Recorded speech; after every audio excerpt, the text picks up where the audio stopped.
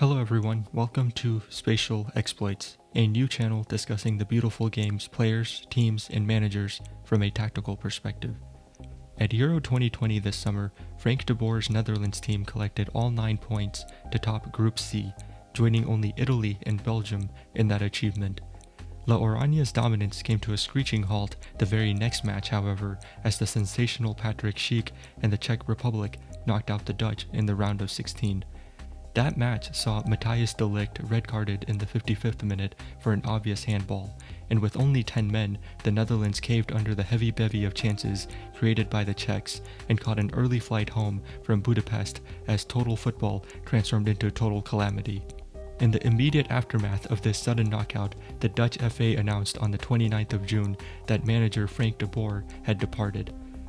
De Boer has announced that he does not want to continue, which is also in line with the contract between both De Boer and the Dutch FA, which required a place in the quarterfinals. That contract will not be renewed.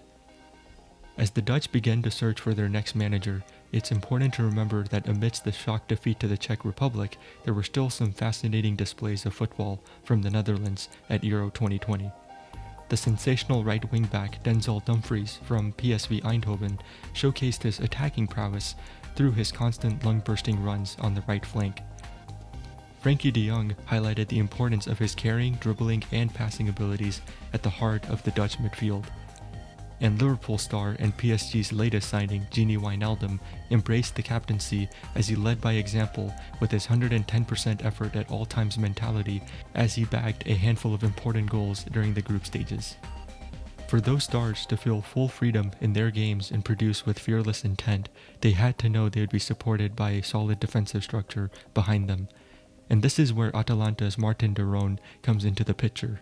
At age 30, de Roon brings with him nearly a half decade of experience working under the careful watch of Gianpiero Gasperini, who is endlessly fascinated by the concept of total football, which de Roon's home nation invented.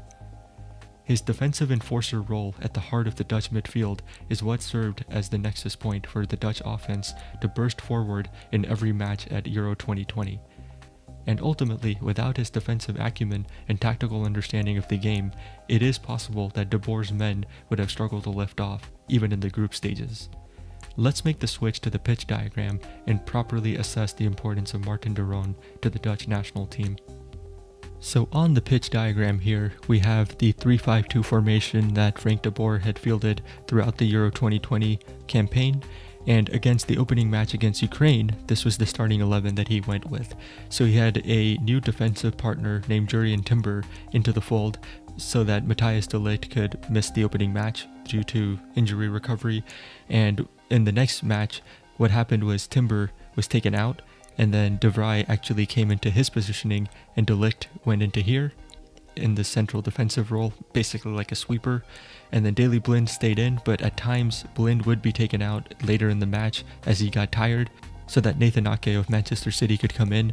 He's a left footed center back as well, so that was an easy transition going from Blind to Ake.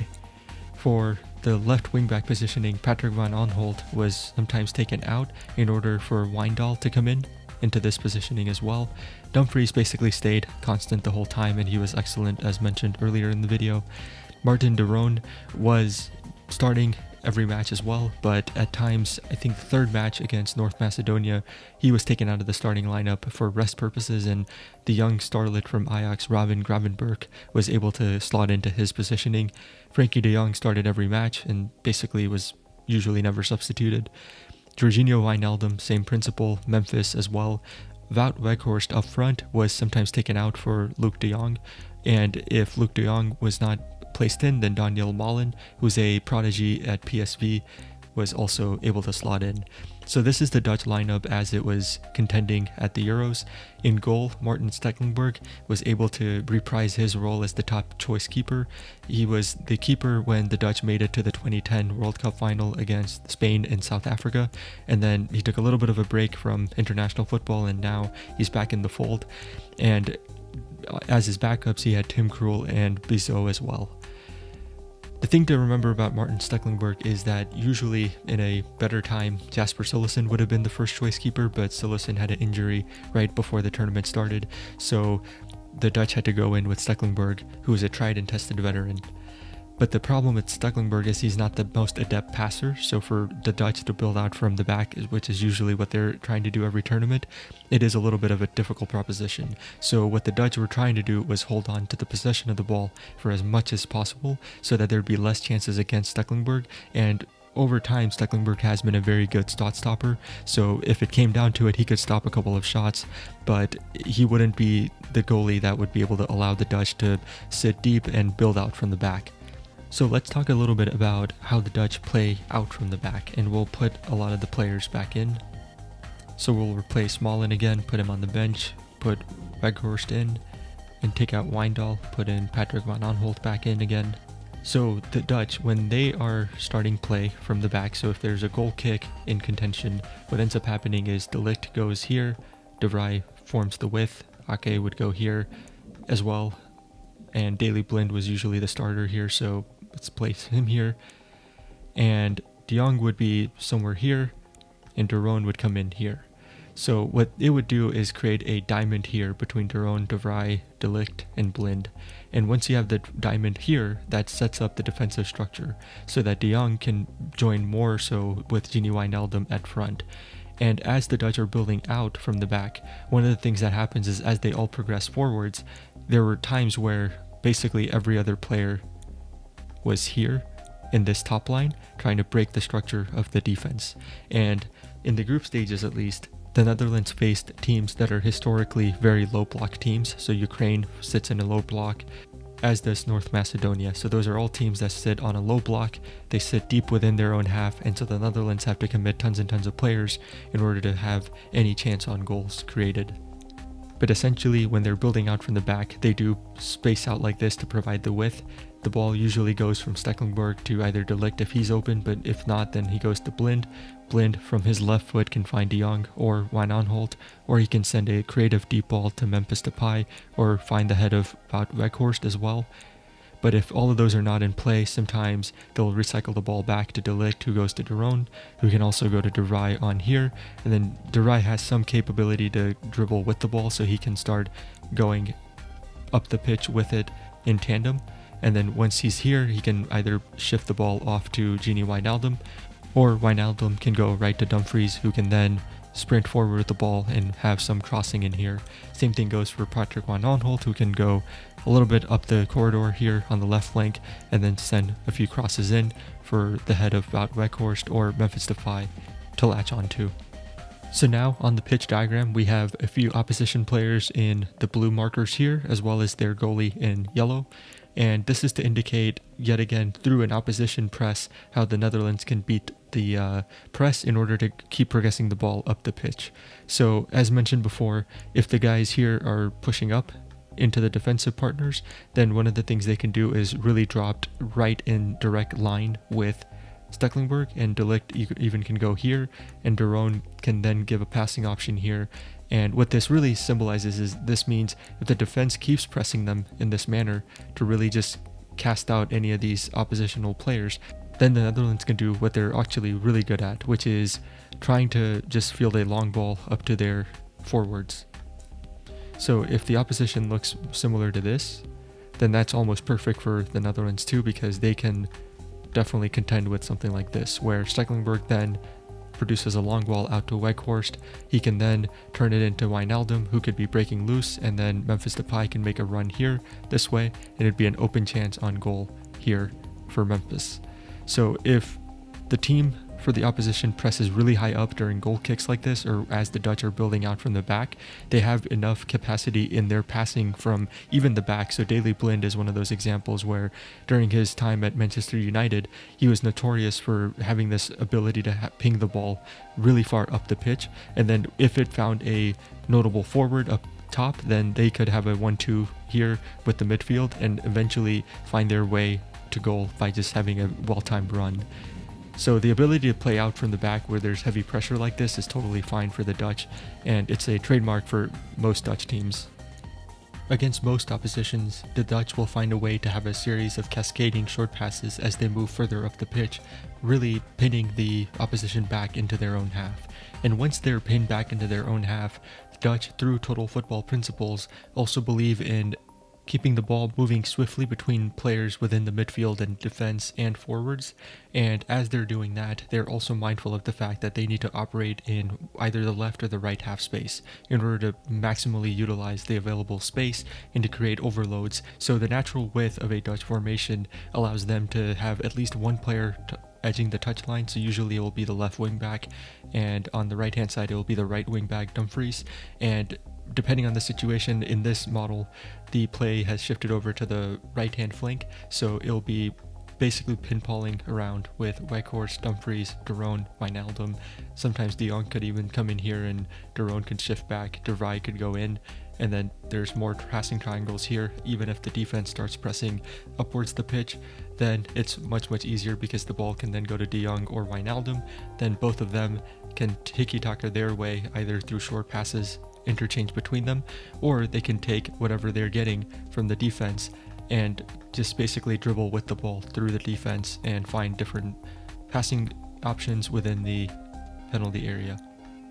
In his role as a holding midfielder, one of the things that Marten de Roon provides to the Dutch national team is his ability to cover for both Wijnaldum and Frenkie de Jong. So hypothetically, within the five-person midfield here, De Jong and De should be the furthest back, but because De is so good in the defensive capabilities of the game, he is able to make sure that if the ball is turned over within these these vulnerable areas where a quick counterattack can be launched through the opposing players, Marten de is able to, if he spots some of those things, he's able to assess the situation unfolding here. If this is a turnover where Wijnaldum turns the ball over to this opposing player, he'll assess the situation. He'll realize very quickly that the options are very limited. Most players under that much pressure can't just find a ball here or find a long pass here. There's just not enough time and space to carry and move out like that. So what De Roon does is he'll heavily press, and within the Dutch footballing mechanism, the player who turned the ball over also has to aggressively press, and any player in and around the area starts to converge into the ball carrier from the offensive side. And once this player in blue here decides to turn the ball over, De Roon or Wijnaldum or Dumfries, any of these players are able to catch him red-handed and then swiftly move to more open areas of the pitch where De Jong can then start to do his magic, dribble around a bit, and pass the ball to Wijnaldum out to the left flank. So the key advantages of operating in the half space is that the defense is so, so compressed that a player of Marten de Roon's capabilities is able to collect some of those stray passes and some of those aggressive maneuvers within the opposition opposition half once they recover the ball, and because of his ability to then recycle the ball to more adept players and passers within the team, they're able to then immediately switch the play over to the left hand flank and then get an overload going on that direction before the offense has been able to switch back over. One of the things that makes Marten de Roon a standout player is he's able to seamlessly transition and fall back, allowing the other two midfielders to fo- fall forward, and this switch up here between him and De Vrij is very important because De is a little bit more capable going forward from the center half position. So with De falling back to provide defensive coverage, it can really open up spaces for De Vrij to connect up with Weghorst or Dumfries here. And if he gets caught deep into the opposition half, the team is not left without a capable center back. So De Vrij, I believe, is six foot two inches, and De is six foot one, and you're not losing a whole lot in terms of defensive coverage because De Roon at times for Atalanta also plays as a center back, but usually he's a right-sided holding midfielder for both club and country. Additionally, when things are operating a little bit more normally, what occurs is you'll find De Roon switching between this area here as well as this area here, so he stays sequestered to the right hand side of the pitch. And even if play has transitioned over to this side, he'll he'll jog his way over to this section of the pitch to provide a little bit more coverage if the ball does need to come back out to De Ligt. There's already a ready-made option for a cutting Weghorst if De Roon can find him.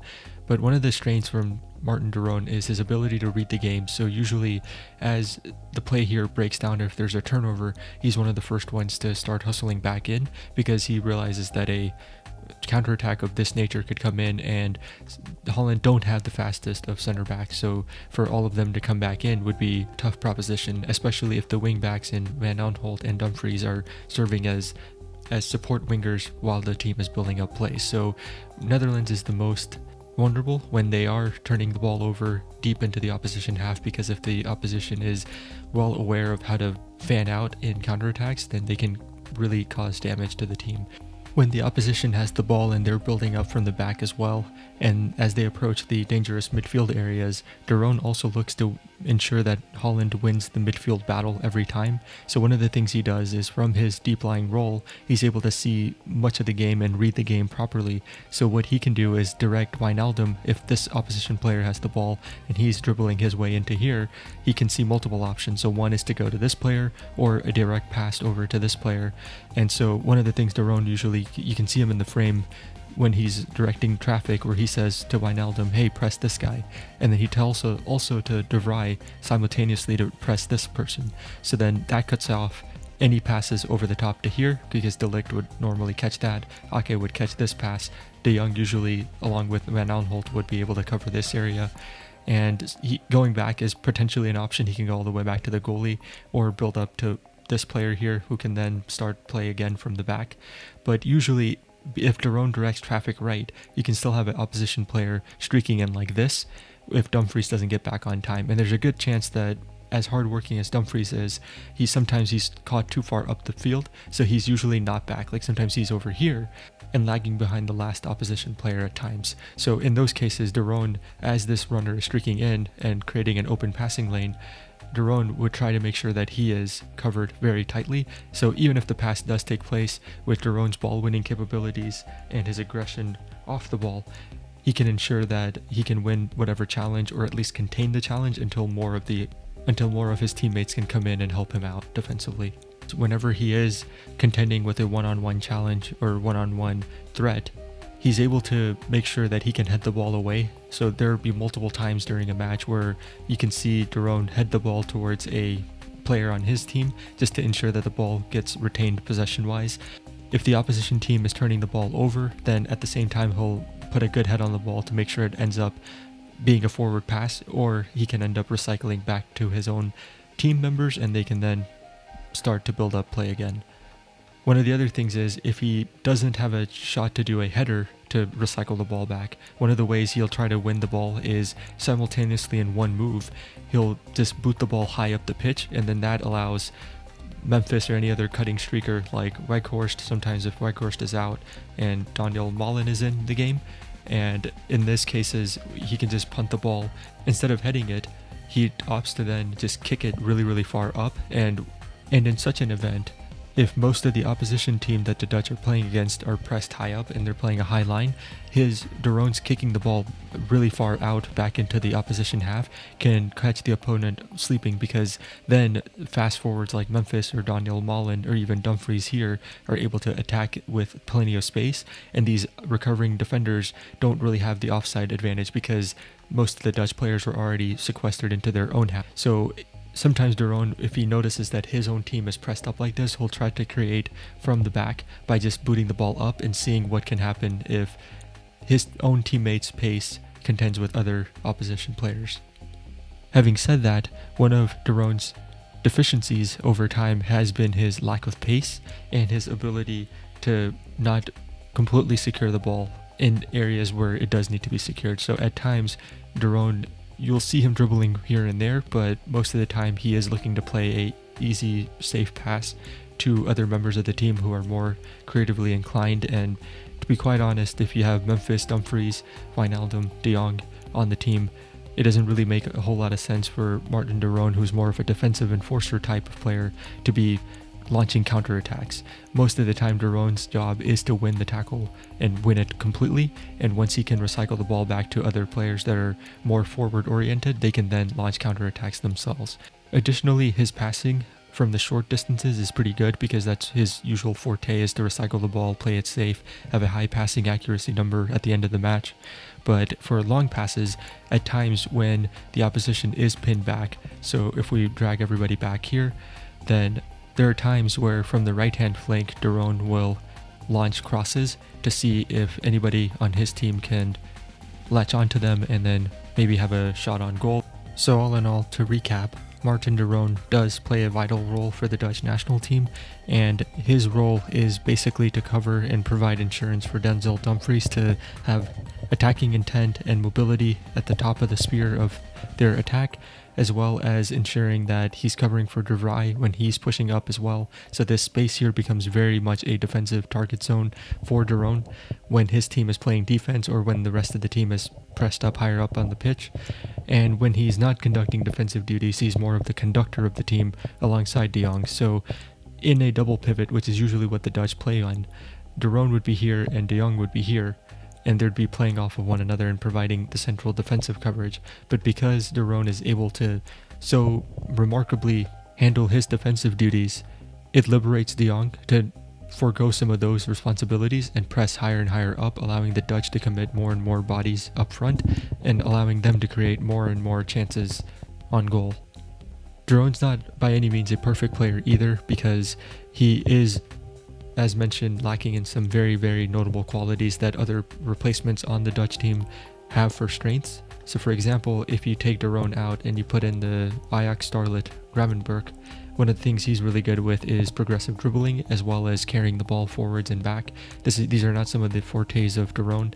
And Gravenberch, on the other hand, is not as defensively minded as De Roon is. So, there are some pluses and minuses, and depending on how the team wants to play heading into the 2022 World Cup in Qatar, it is interesting to see if De Roon is able to retain his spot because it will be yet another season that Gravenberch has with Ajax under his belt.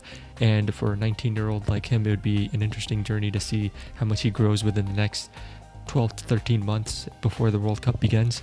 I don't think it'll be enough for De Roon to be unseated from his double pivot role next to De Jong, but only time will tell. If, however, De Roon is on the national team, he stays injury free for the next year and a half, then in Qatar, it is quite possible that the Dutch put this heavy loss of Euro 2020 behind them and go back to the drawing board, have a new manager to work with. It seems like Louis van Gaal may be coming into the fold once again. So with those types of maneuverings, it may change the setup of the team, may change the tactics of the team. The Dutch may go back to a 4-3-3. In those cases, does De become the holding midfielder with De Jong and Wijnaldum? So similar to the role he's playing now would he be able to retain that?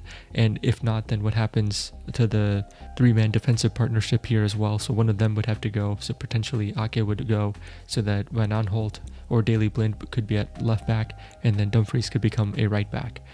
So a 4-3-3 is definitely possible with this setup, and one other player could come in. So either Promes, Gakpo, or Weghorst could also come in here as well to round off the front three.